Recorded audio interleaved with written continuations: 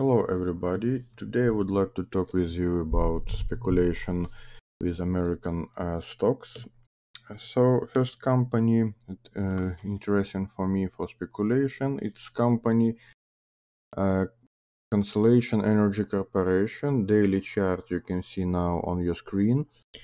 So we can see breakdown level uh, 107.6 dollars above this level we can see a breakdown with consolidation above this level. So for to today it will be interesting idea for my opinion uh, for long deal.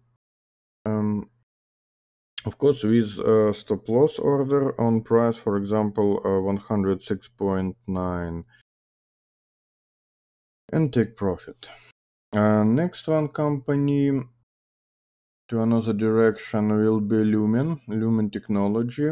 Um, yesterday was a breakdown with uh, consolidation below level uh, on price one point sixty one 1.61 cents.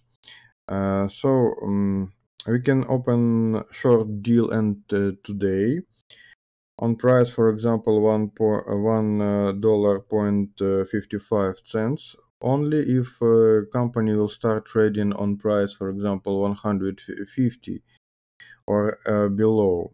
Um, only this way uh, we can put um, order for short deal.